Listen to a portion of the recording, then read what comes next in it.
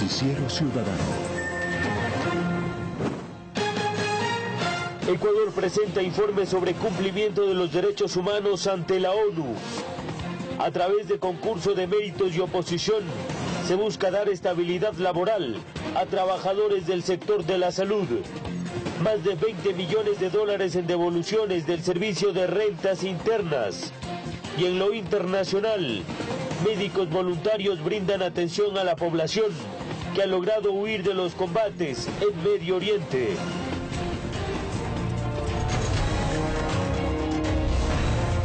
Saludos cordiales, bienvenidas y bienvenidos a la emisión central de Noticiero Ciudadano. Listos con los temas que hacen noticia en Ecuador y el mundo.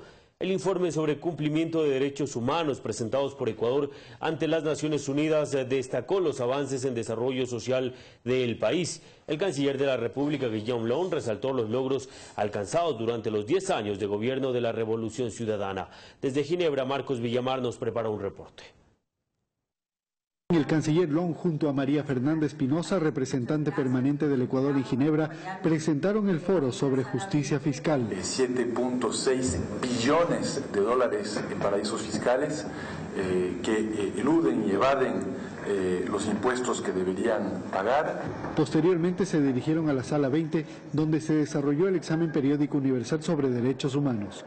En Ecuador, entre 2009 y 2016, el índice de pobreza multidimensional se redujo en un tercio, pasando de 27,2% a 16,9% como resultado de la garantía de acceso a empleo, educación, seguridad social, agua y vivienda digna, entre otros derechos. Ecuador recibió varias felicitaciones por la serie de medidas tomadas para fortalecer los derechos y garantizar su cumplimiento. De los 87 países anotados, casi todos celebraron los avances del Ecuador. Los humanos, la mejora del marco legislativo para proteger a los vulnerables y los esfuerzos por erradicar la pobreza y reducir la brecha en la desigualdad. Saludamos los esfuerzos realizados por el Gobierno en materia de acceso a la salud, incluyendo los esfuerzos de reconstrucción y el incremento presupuestario asignado al sector sector en la primera parte, los representantes del Estado informaron sobre las medidas que el país adoptó para defender derechos y cuestionaron la desinformación entregada por muy pocas organizaciones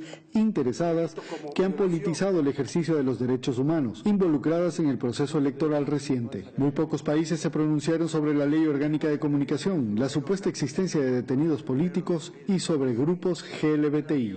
Estados Unidos da la bienvenida a la delegación de Ecuador. Nos preocupa las restricciones gubernamentales a la libertad de expresión y sus restricciones importantes a las organizaciones de la sociedad civil. El gobierno sigue ejerciendo presión contra la sociedad civil, los medios y los periodistas independientes a través de multas. ¿De qué libertad hablamos si un contenido toma solamente en cuenta el rating? Así sus historias atropellan la cultura de nuestros pueblos y nacionalidades indígenas, afroecuatorianas, montubias.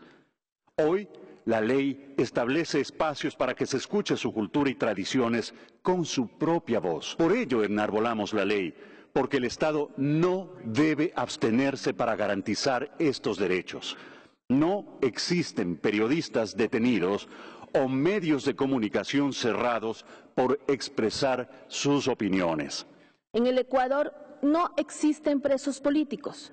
Los procesos judiciales iniciados en el contexto de las manifestaciones públicas violentas responden al cometimiento de delitos como secuestro, asesinato y paralización de servicios públicos. Conductas que seguramente en países como los que hoy nos examinen constituyen también delitos que los estados tenemos la obligación de investigar y de sancionar. Reitero, en Ecuador no existen presos políticos ni defensores de derechos humanos detenidos. Y puesto que algunos los han mencionado, agradecemos a quienes los afirman nos den con nombres la lista de quienes presuntamente estarían detenidos. El Ecuador reconoce la salud como un derecho fundamental desde su propia Constitución y lo ejerce a través de una política de cobertura universal y gratuita para ecuatorianos y extranjeros pese a que en muchos de los casos no recibimos este trato recíproco con nuestros ciudadanos migrantes. Posteriormente se instó al Ecuador a continuar con el proceso de reconstrucción iniciado después del terremoto ocurrido el 16 de abril, en el que perdieron la vida 671 personas. Además, que se fomente una cultura de paz. Me voy a permitir poner como ejemplo este último delito, que pasa de una tasa en el 2006 de 19 homicidios y asesinatos por cada 100.000 habitantes a 5.6 homicidios y asesinatos por cada 100.000 habitantes en el 2016. Es importante, no obstante, no olvidar que la credibilidad y efectividad del sistema universal de derechos humanos depende de que no se politice y de que los estados que examinan no pidan a los examinados cumplir con elementos o estándares con los que ellos no cumplen primero. Finalmente, el canciller hizo un llamado para que los países miembros se sumen a la iniciativa para trabajar contra la evasión fiscal. Ecuador seguirá promoviendo sus iniciativas internacionales en materia de derechos humanos. Invitamos a todos los países a sumarse a la iniciativa para la elaboración de un instrumento vinculante sobre empresas transnacionales y derechos humanos y a trabajar juntos para dar pasos concretos en la lucha, por ejemplo, contra la evasión fiscal y para la financiación para el desarrollo y los derechos humanos. Ayer se desarrolló una marcha por el Día del Trabajo en Puerto Viejo, provincia de Manabí, organizada por la Central de Trabajadores. En este evento participó el presidente de la República, Rafael Correa. Posterior a ello, en el Coliseo California se desarrolló la sexta Convención Nacional de Alianza País, en donde se eligió a su nueva directiva. Miles de ciudadanos provenientes de varias partes del país se congregaron en Puerto Viejo, provincia de Manabí, para participar en la marcha por el Día del Trabajador organizada por la Central Unitaria de Trabajadores. Esta manifestación contó con la presencia del presidente de la República, Rafael Correa, quien en su discurso recordó los avances que ha logrado durante su gobierno en materia laboral. Somos personas que no representamos al capital, peor al capital financiero. Somos un movimiento ciudadano nacido en las entrañas de nuestro pueblo, de nuestra gente, y a ellos, a ustedes, a quienes nos debemos, a los ciudadanos, a los seres humanos, a los trabajadores de la patria. En eso sí, tengan la plena seguridad, compatriotas. Hace 10 años recibimos un país en el cual con el eufemismo de flexibilización laboral se había legalizado la explotación con figuras tales como la tercerización. Trabajas para mí, pero tu empleador es otro. No tienes estabilidad, no tienes derechos, no tienes utilidades. Es fácil olvidar. El jefe de Estado señaló además que durante su mandato se alcanzaron hitos que benefician a los trabajadores del país. En esta década ganada hemos reconocido la supremacía del trabajo humano sobre el capital. Eliminamos los contratos por hora y la tercerización.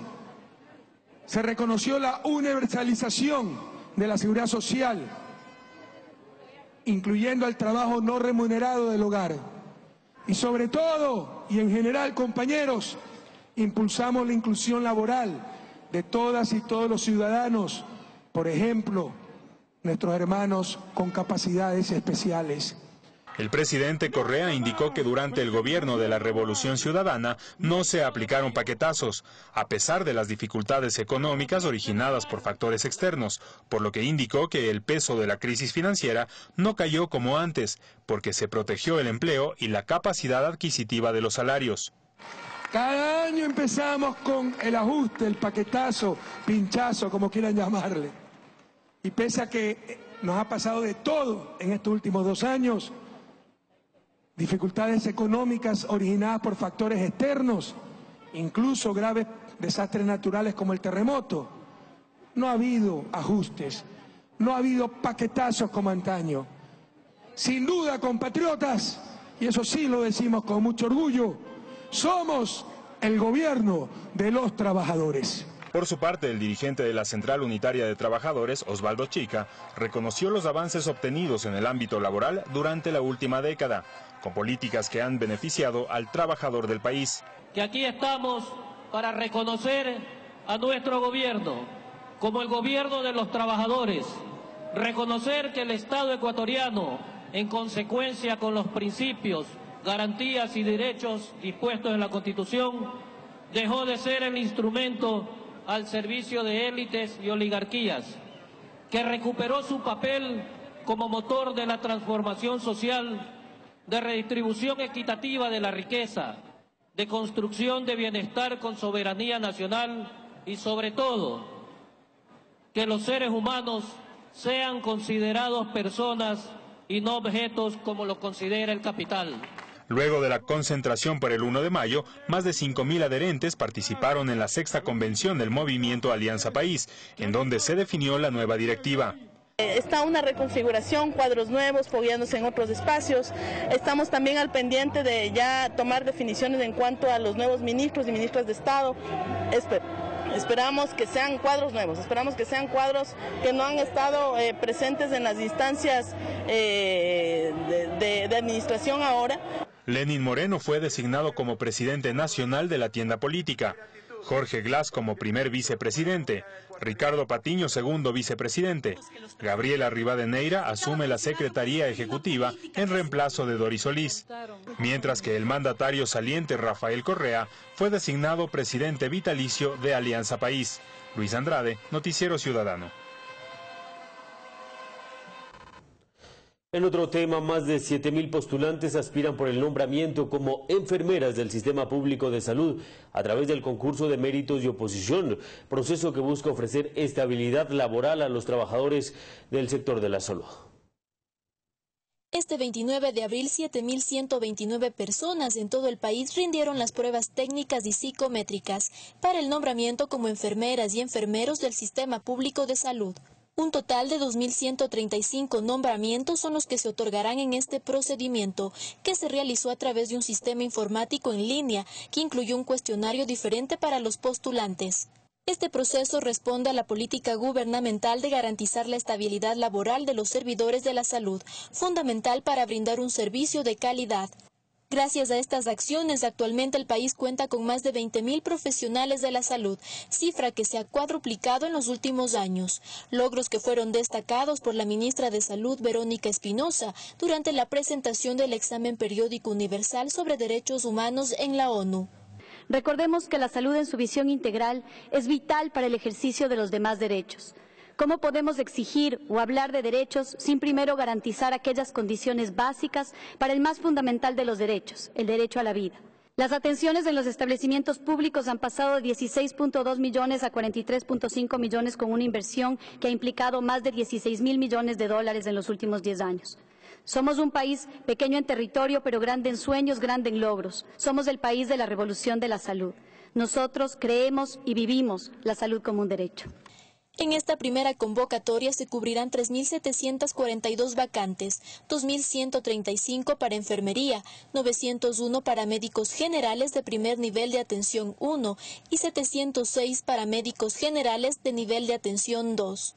Cabe recordar que las preguntas fueron seleccionadas de un extenso banco de interrogantes desarrollado a partir del trabajo de la academia, con validación de representantes de gremios de la salud y bajo estricta confidencialidad.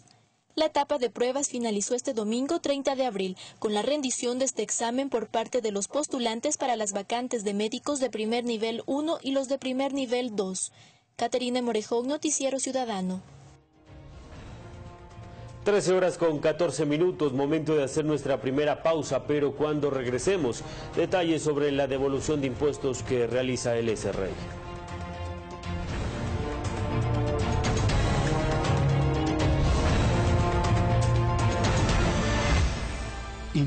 Espacio promocional.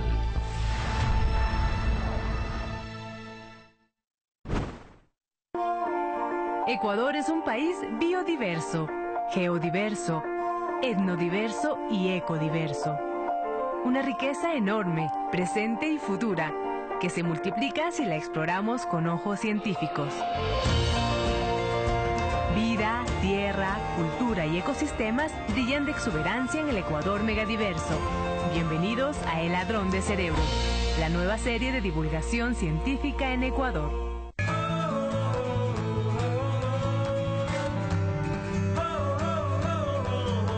Tu plan siempre es crecer. Aquí ofrecemos el aire puro nuestra costumbre, nuestra música, nuestra lengua que es el quichua. Invitamos a todas las personas del mundo para que puedan convivir, puedan conocer nuestra vida. Vamos a cosechar el maíz, el frejo, las habas. El bordado a mano ha estado en nuestra familia desde hace más de 60 años. Es una tradición en Zuleta. Albochagua es la parroquia más antigua del Cantón Ibarra. Siempre decía que al monte no podemos poner líneas telefónicas, no puede llegar internet. Tengo ocho años funcionando el internet, nos da una facilidad tan importante y la calidad de atención y la información inmediata que damos a nuestros clientes como negocio teníamos que ir a otro nivel, necesitábamos hacer más cosas y entre eso estaba usar la tecnología. El Internet nos abrió un mundo de posibilidades para avanzar, para llegar a más gente. Y hoy Angochagua está en comunicación. Hemos podido seguir los estudios, igual para los negocios y la tecnología para la enseñanza y aprendizaje de los niños y de la población en general. Ya no podemos estar leyendo todavía libros de hace 10, 15, 20 años es un cambio muy importante para nuestro programa de turismo comunitario. Nuestro negocio evolucionó, desde los primeros trabajos de mi bisabuela hasta las piezas más modernas que posteo en Facebook. Tu plan siempre es crecer y el nuestro también. ¿Y tú, qué planes tienes con CNT? Fin de espacio promocional.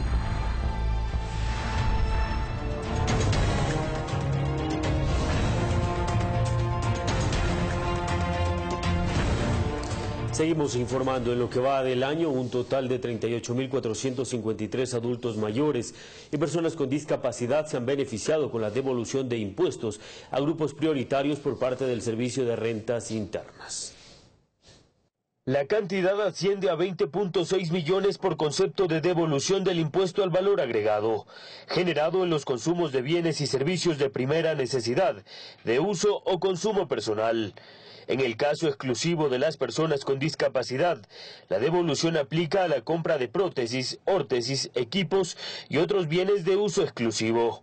La adquisición local o importada de vehículos ortopédicos y no ortopédicos destinados al traslado y uso de personas con impedimento están exentos del pago, aparte del IVA, también de tributos al comercio exterior y del impuesto a los consumos especiales ICE. Tampoco pagan las importaciones de prótesis auditivas, visuales y físicas, equipos, medicamentos y elementos para rehabilitación.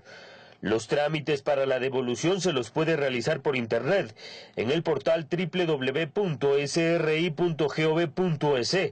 o de forma presencial en las ventanillas exclusivas de las agencias del SRI. La Ley para el Equilibrio de las Finanzas Públicas establece que la devolución del IVA a personas con discapacidad debe ser realizada a través de cheque, transferencia bancaria u otro medio de pago en un tiempo no mayor a 90 días de presentada la solicitud. En devoluciones consolidadas a otros sectores, el Servicio de Rentas Internas registra 40.2 millones en el primer trimestre del año. Víctor Fernando Bravo, Noticiero Ciudadano. Tras seis días de búsqueda, la DINA Sede encontró a Anthony Nelson Zambrano, quien ahora ya se encuentra junto a su familia. Un emotivo reencuentro vivieron Anthony Zambrano y sus padres luego de que los agentes de la Dirección Nacional de Delitos contra la Vida, Muertes Violentas, Desapariciones, Extorsión y Secuestros DINASET hizo la entrega del joven, quien fue reportado como desaparecido en Quito y este domingo 30 de abril de 2017 se lo encontró en la ciudad de Guayaquil.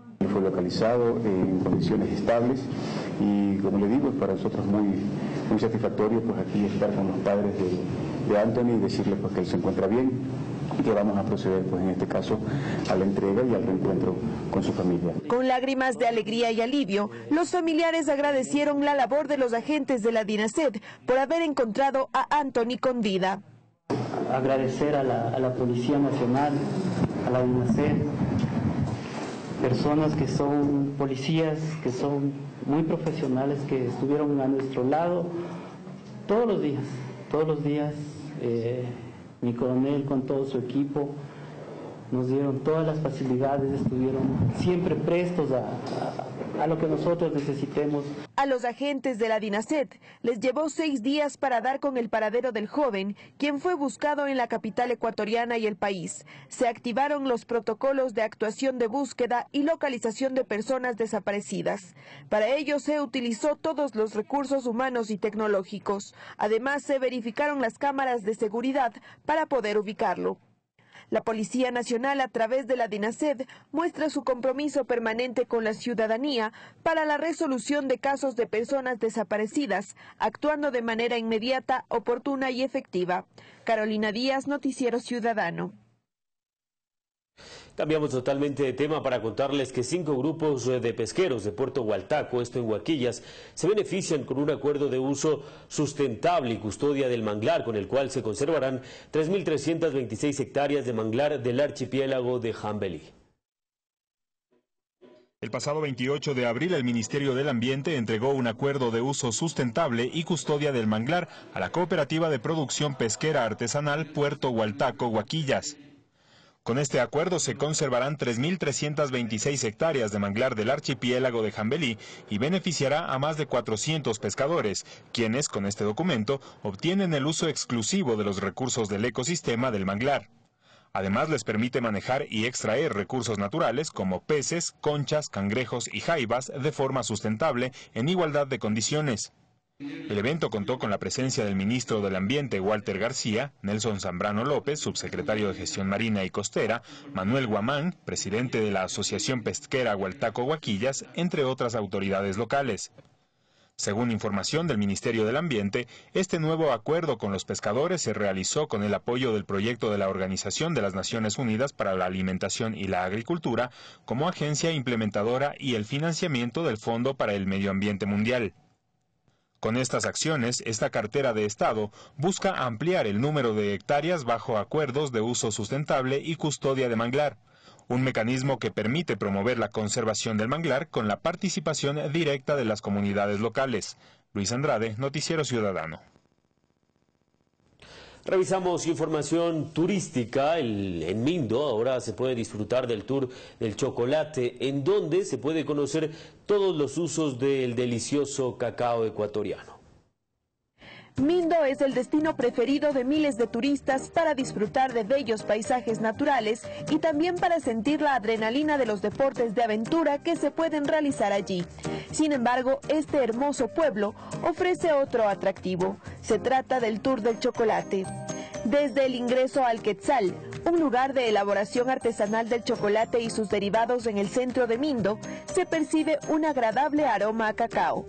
Ahí existen algunas plantaciones de este fruto que dan la idea al visitante de cómo se produce el chocolate antes de llegar a la mesa de los hogares. El proyecto incluye una hostería que inició hace ocho años, cuando el ecuatoriano José Mesa, residente en Estados Unidos, decidió quedarse a vivir en este cálido lugar. Ahí levantó la fábrica artesanal de chocolate y la ruta de la elaboración del mismo, que es un atractivo adicional para los turistas, quienes además pueden ver el proceso para crear deliciosos productos como el chocolate, la miel, salsa barbecue de chocolate para aderezar carnes, entre otros. En definitiva, el Quetzal es un paraíso del chocolate. Además, tiene jardines de donde se extrae gran parte de la comida que se sirve en el restaurante del hotel. Carolina Díaz, Noticiero Ciudadano.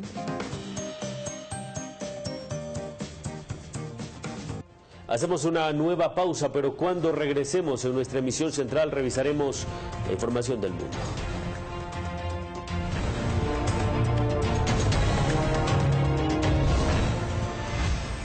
Inicio de espacio promocional.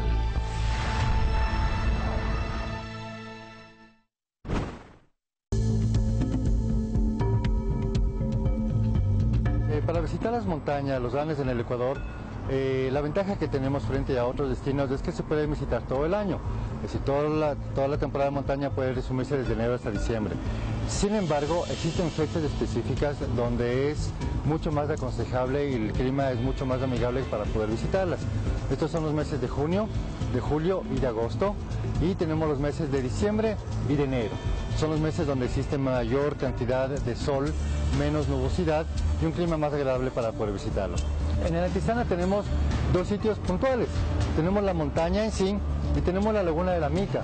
Existen, por ejemplo, senderos de media montaña que recorren alrededor o a lo largo de la Laguna de la Mica, que ofrece vistas espectaculares, tanto de la Laguna de la Mica como el Paramondino, y en días más despejados de la Antisana, y desde ahí también se puede ver desde la parte alta, incluso otros volcanes cercanos como el Cotopaxi.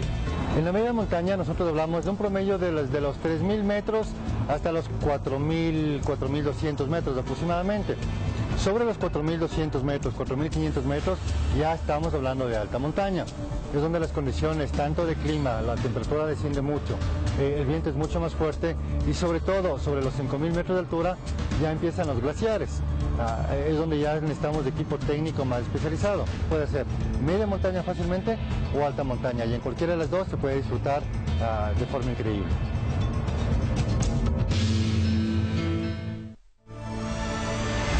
Fin de espacio promocional.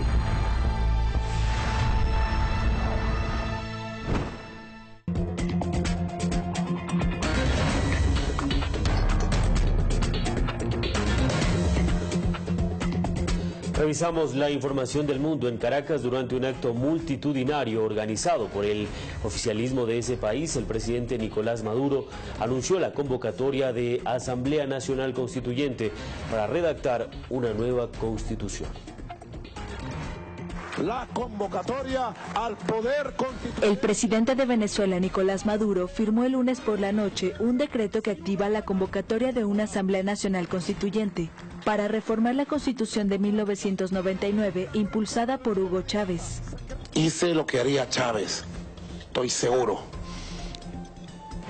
Hice lo que mi conciencia bolivariana y chavista manda, convocar el poder absoluto del pueblo soberano de Venezuela a través del artículo 348, convocando una Asamblea Nacional Constituyente originaria, plenipotenciaria, constitucional, Junto con sus ministros y el alto mando militar en el Palacio de Miraflores, Maduro afirmó que la convocatoria es para una Asamblea Nacional Constituyente, popular, ciudadana y revolucionaria.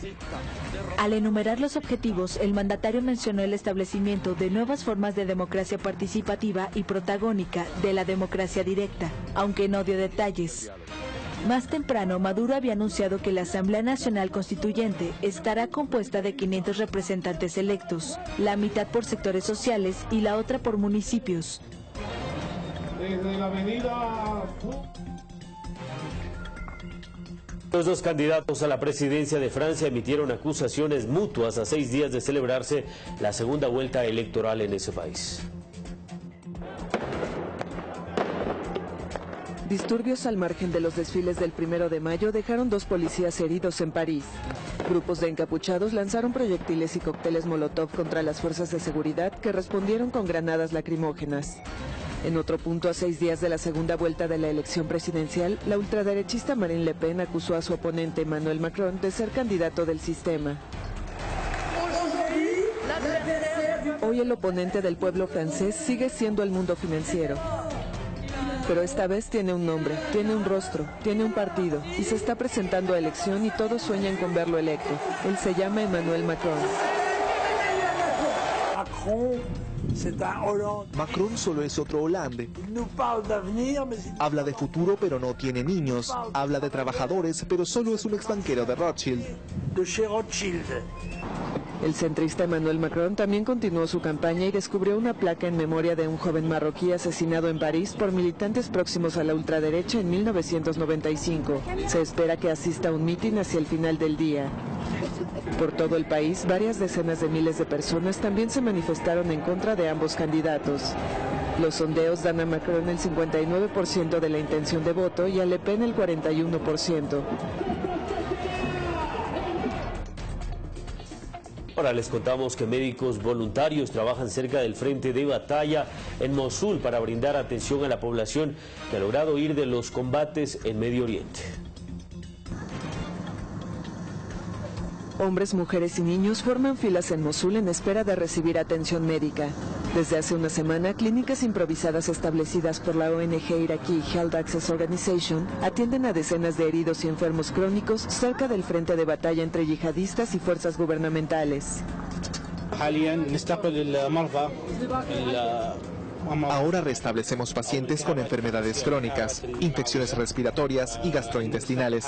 También encontramos casos de enfermedades en la piel en estas clínicas móviles. Sobre la medicina hay disponible, pero hay mucha gente que viene del lado oeste. Es mucha, así que tratamos esos pacientes tanto como es posible.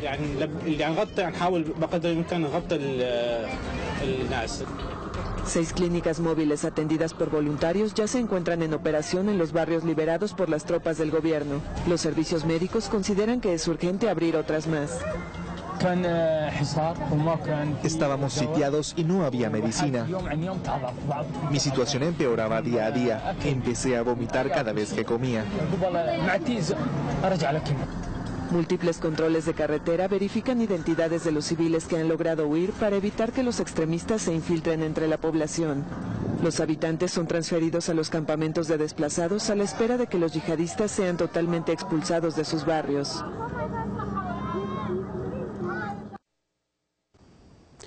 Finalizamos, tenemos más noticias hoy a las 19 horas. Conmigo mañana a las 13. Buenas tardes y buen provecho.